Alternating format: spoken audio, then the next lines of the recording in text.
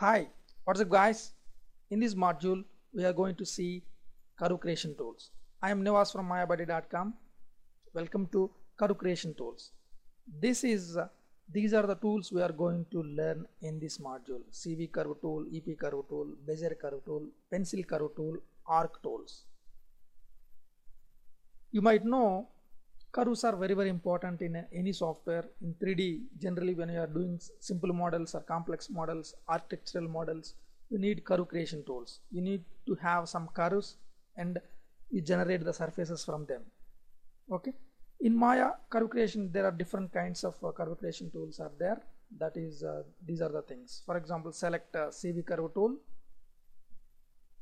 Just uh, hold down alt and click. See now I'm creating the curve. Enter. How I created? Go to create CV curve tool select that click 1 2 3 4 you need to click 4 points. Then only we'll get the this is not the curve. This is the curve actually. See once if I click enter so this is not the actually you are clicking the points here but you are getting the curve like this. Enter click enter. You got the curve. It's actually creating on the ground. Okay. Just delete one. Go to top view. Hold down space bar and uh, click on space bar. You can go to top view. See if you right click right mouse click and hold you will get the components you need to know this is a control vertex curve point edit point object mode hull. These are the components of the curve. That is what uh, cv you just seen. Cv curve tool. Means actually that is a control vertex. You are uh, selecting this w click and drag. You can modify the curve like this.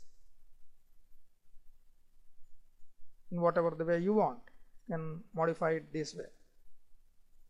Edit point means it comes on the curve. See this is uh, it is coming on the curve.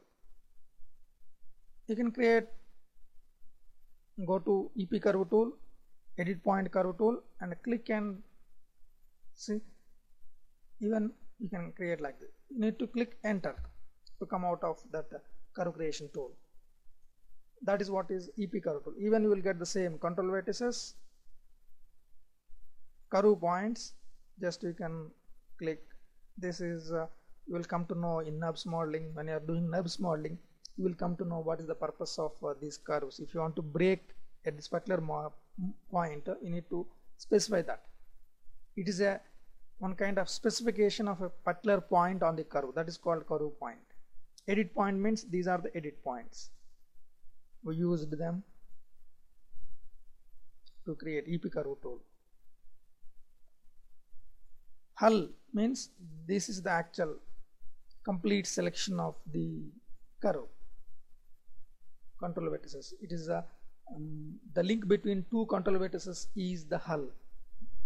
It is useful uh, when you are doing NURBS modeling. All these tools, control vertex, edit point, curve point, hull, these four things are useful when you are doing uh, modeling using the curves, NURBS modeling. That's called NURBS modeling or uh, generally when you are doing modeling you start with NURBS then you can go to convert to polygon and giving the high, high end details. That is what general procedure. Start from curves, generate the surfaces, convert them into polygons, add the details. Come out of it. That is called hull. Then object mode means coming out of the normal selection mode. Try to remember these four components of the curve. NURBS curve, control vertex, curve point, edit point, hull. I used control CV curve tool and EP curve tool here. CV curve tool, EP curve tool, Bezier curve tool. This is the most exciting thing in curve creation tool. For example, just select a Bezier curve tool and click there. See, just it is creating a point click again click again. Now it is a straight line. Hold click and drag. You can you will get the beziers handles. And you will you can give the curve in whatever the way you want. Even even you can edit them later. See you can use straight lines and you can give the curves. That is what is the bezier thing. If you want to edit this for example see hold down shift and right click you will get it into beziers. For example see hold down shift and uh, on a particular point uh, hold down shift convert this into curve corner bezier corner. You can get it this way. Select them modify it. Modify it. that is what is simply a bezier uh, thing. Hold down shift on any particular point uh, right click and hold right mouse click and hold. Bezier corner corner. Bezier will get the handles. Bezier corner means you will you, it will become a corner sharp corner but you will have handles. Right. Modified. It's very very useful in creating very complex shapes. Try to understand the bezier curve so that you can curve creation things. Let click on W come out of that uh, bezier curve tool then pencil curve tool. This is a freehand tool. For example just uh, okay see just I'm clicking and dragging so that you can create the freehand tool kind of thing. But only drawback is it creates lot of control vertices. But you can uh, do that in a later chapter when you are doing edit curves in surfaces edit curves you can use rebuild curve tool and smooth curve tool um, to to keep the shape but uh, to have the less number of control vertices. It is a combination tool. For example you need to use the rebuild uh, curve tool to make the less number of but when you are uh, talking about edit curves you will come to know how to use it you will come to know.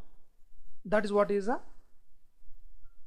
pencil curve tool. Arc tools. If you want any kind of arcs for example just click three point arc three points. One two three. See you got an arc tool. Now you can modify it. This is how you can modify it. Enter.